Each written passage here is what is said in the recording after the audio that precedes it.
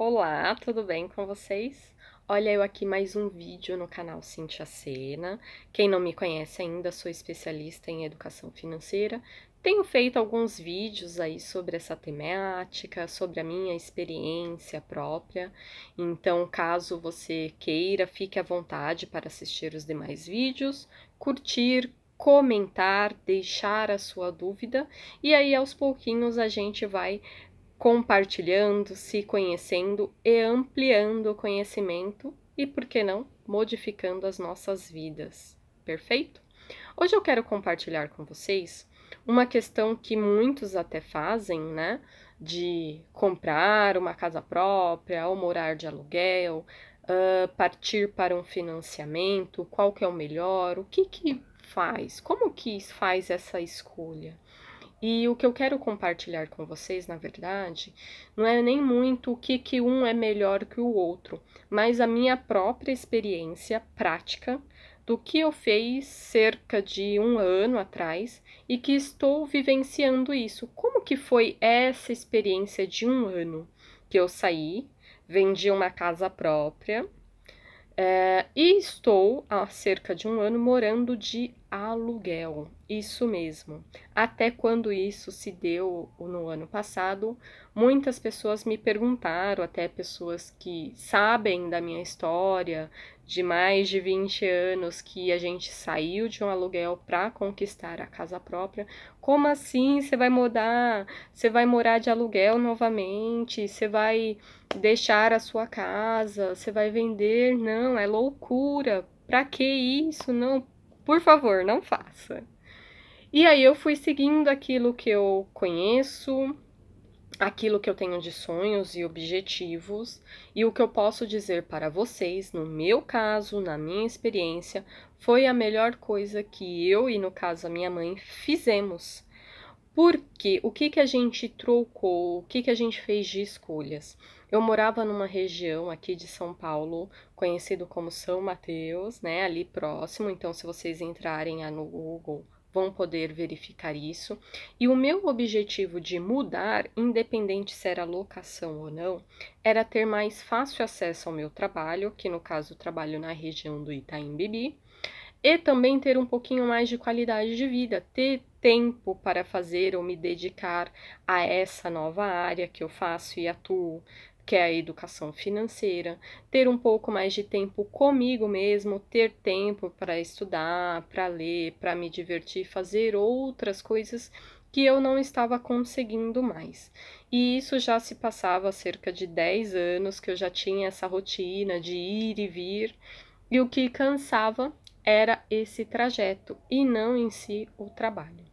Então, esse era o meu objetivo. Se eu ia morar de aluguel, se eu ia morar numa casa própria, naquele momento não era o que importava, mas era o acesso.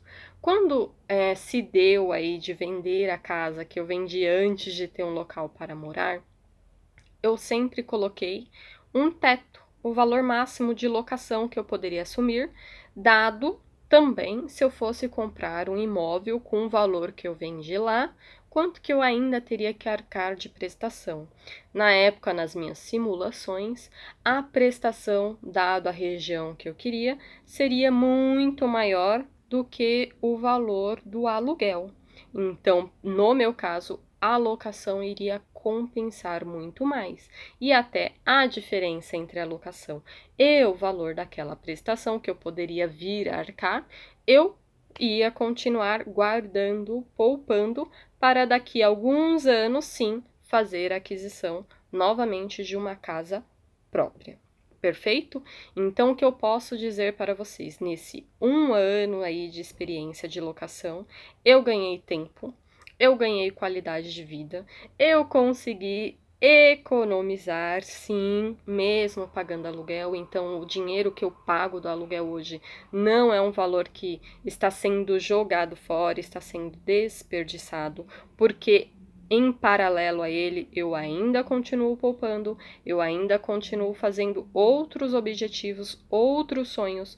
O valor que eu vendi, que a gente vendeu da casa, está aplicado para que daqui a alguns anos, por exemplo, mais ou menos a minha estimativa é daqui cinco anos, a gente consiga assim comprar uma outra casa própria. Apesar que o que eu tenho hoje de acesso de qualidade não tem preço algum. Então, se você tem intenção de morar de aluguel ou se você tem intenção de pensar entre comprar uma casa própria, financiar, primeiro coloque no papel qual é o seu objetivo com isso, independente se é locação, independente se é imóvel próprio. Qual é o objetivo? Qual é o seu planejamento? O quanto você pode arcar com essa despesa mensal, seja locação ou financiamento.